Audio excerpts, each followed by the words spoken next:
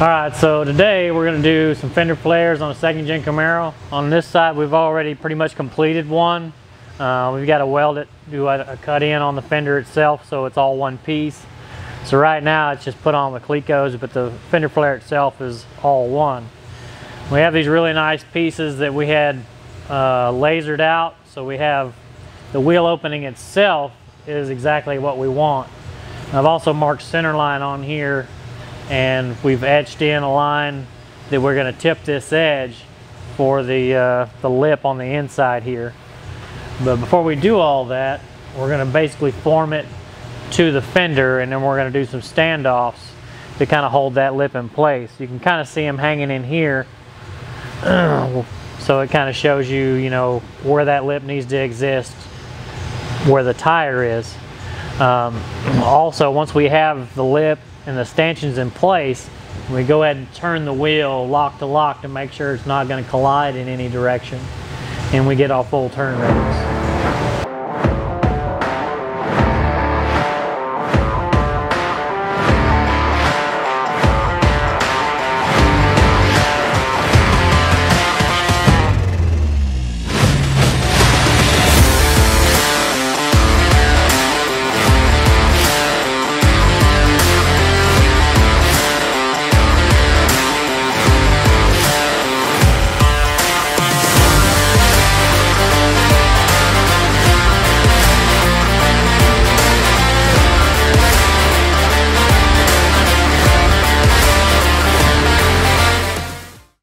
Right, so again, we got this laser etch line and we're gonna run it through our Mittler Brothers tipping die here and we're gonna go ahead and tip this edge.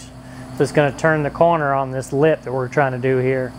Uh, so here we go.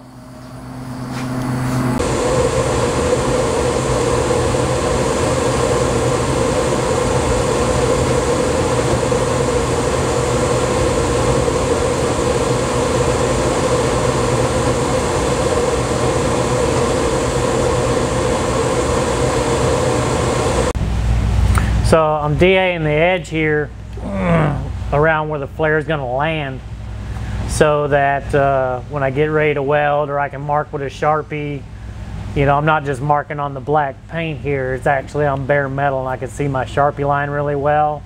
And I can also go back and forth from the other side that's done and translate lines on here that mimic the other side. And also when I I'm clearing the metal so I can tack stanchions on to hold my lip out the proper distance away from the tire.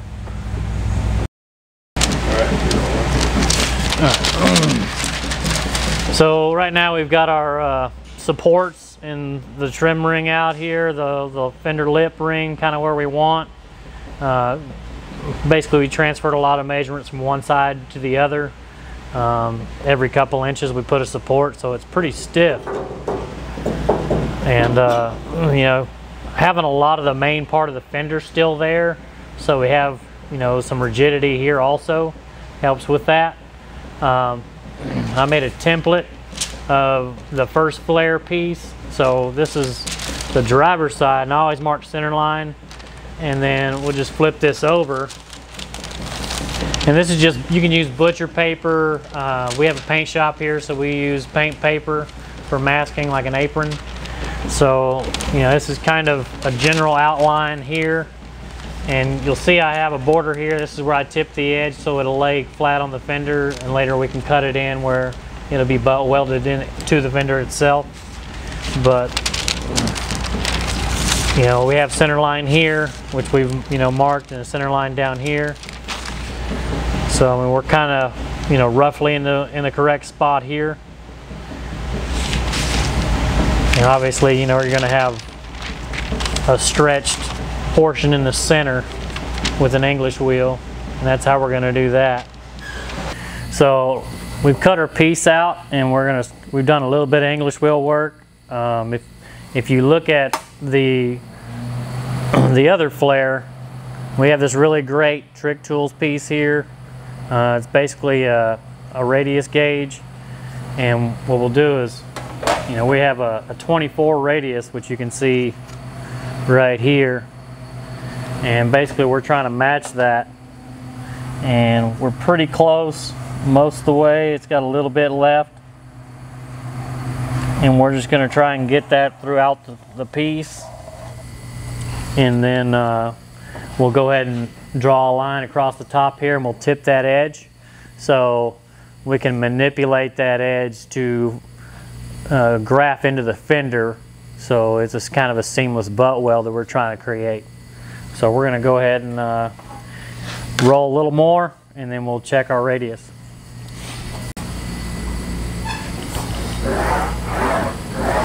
So when you're wheeling you want to kind of keep your strokes tight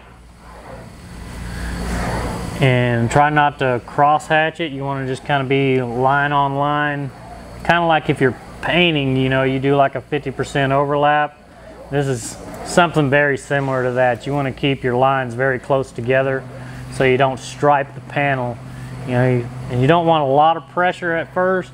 You know, just kind of work it back and forth slowly and you'll start to notice, you know, you can feel it and you don't feel stripes in it. Like when I feel stripes, you feel every line and that, you know, where the English wheel touches and that's what you don't want because that creates a lot more body work later. So like I said, light pressure, more strokes, and keep your pattern close together. And you don't have to work the whole piece at once. You know, you see a lot of guys and they run it through the whole way. You don't necessarily have to do that. Um, you can just work half and half, or you can work different sections, you know, depending on you know, your ability to work the panel and how you keep your, your striping. You know, sometimes you'll look at it with the gauge and you just have a spot in the middle that needs a little more shape. So you can just work that one spot. It's important that you don't want to like stop and tip it. You know, you want to kind of guide it in and out, you know, nice and smoothly. Because when you have a start and stop in the middle of the panel, sometimes it'll leave kind of a, an impression mark. And that's why I say you really want to, you know, glide most of the way, you know, into the panel and out of the panel. You don't want to, you know, apply pressure to the panel at all. You know, let the wheel do the work. Uh, I left the panel a little long. You can see the line here. Uh, it's always better to make your piece a little larger so you can cut it down when you're ready to actually install it. And I find that the end of the panel where it meets the, the lip is always good to leave it a little bit long. Uh, it helps you kind of contour it properly when you get it actually to the car. Because everything's always just a little bit different, you know, from one side to the other.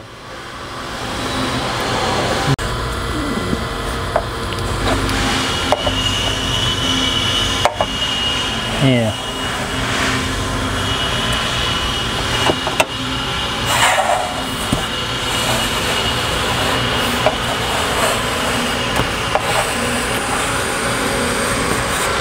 Okay.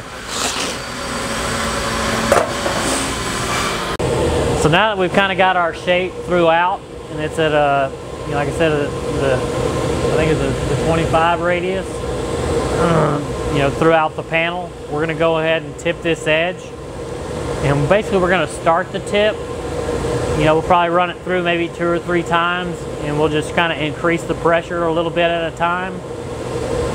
And then we're to take it over to the car and we're gonna kind of set the the angle up because it when it you know if you've ever seen the second gen Camaro fender it kind of rolls from the top and then it has a different gradual radius down the side of it even in the front it narrows so we're going to get a general tip on here which will make that corner a half inch in uh, fairly weak so we can actually use a hammer and a dolly and tip it more or less to meet the fender where it's going to lap over nicely and it'll blend through. So we're going to go ahead and start that tipping process now.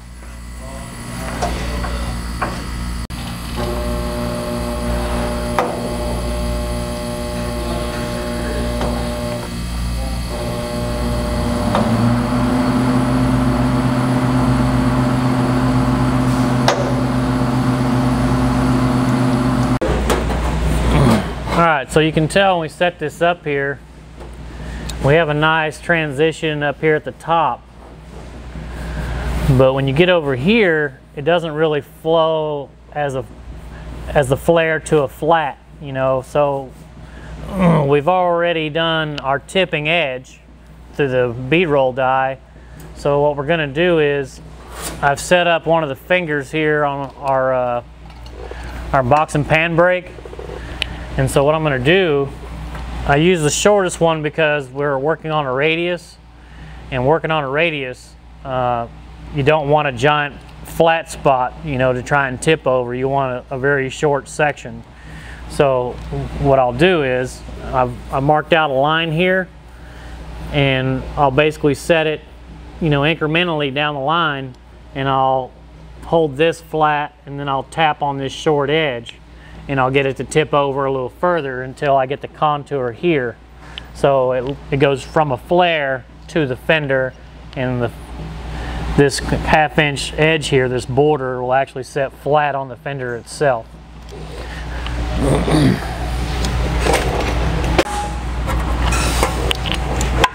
So we're moving a little bit at a time and you can see you know the difference and how things move. You can see the major difference here to here. and we'll just kind of slowly move up and down it, not hitting it hard, but hard enough to manipulate it so we can check our changes as we go.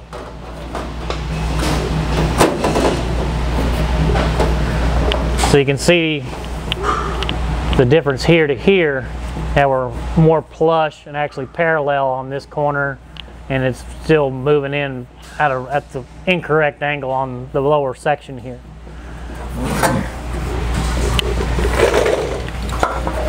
So again, we place the line that you see here on the blade here of the finger and then we just tap on it.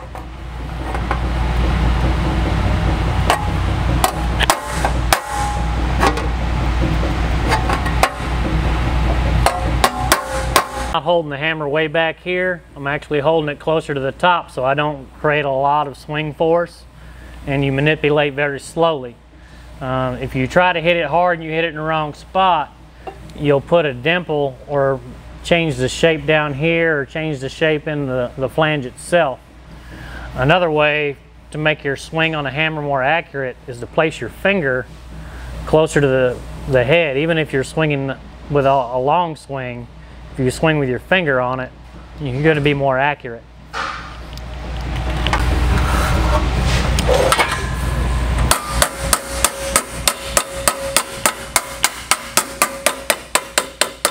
pretty flush all the way up and down. There's a clear distinction of where the flare starts and where the fender starts. and we'll go ahead and do the other side here and then we can get to figuring out where our end trim point is.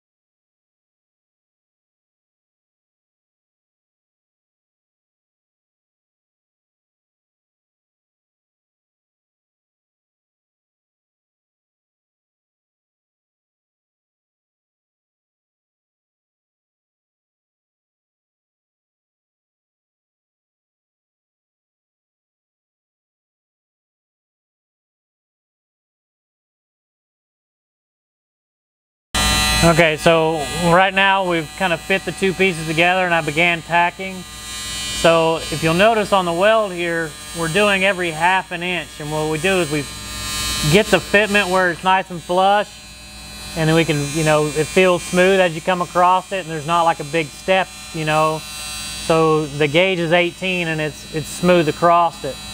So instead of just welding it all the way across, what we do is we actually tack until we have a full weld across. So we go every half inch and then we'll come back and do every quarter of an inch. You know, so basically you stagger in between these and then you'll come back and fill in the rest.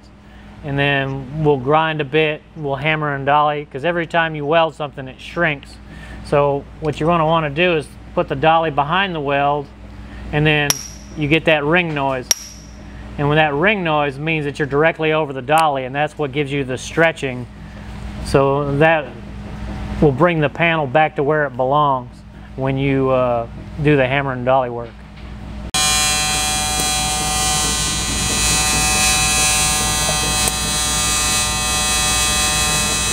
All right, so we've started welding out and doing a lot of grinding on the this edge out here. And you can see that our seam on the side, you know, from the upper to the, to the lower sections have all been welded and metal finished out. Uh, we've still got a little bit left to do on the front. And then we'll start our metal finishing spot where we just use a, a sanding block to try to find our highs and lows and try to bring everything to a nice, smooth, uniform look. Right now, we've got everything welded and kind of DA'd everything down with a 36 grit. Pretty rough. And it's on a DA, so it's not like you're grinding everything. It kind of takes the majority of the grinding marks out. So we're going to use a blue dye to kind of show us where the highs and lows are. And then we're going to use a, a block with some 80 grit sandpaper. And that'll kind of show us more of what is a standard level and what's low and what's high. And then we'll hammer and dolly our way to something a little more consistent throughout the shape and that'll give us a better start when we get ready to do our uh, body filler.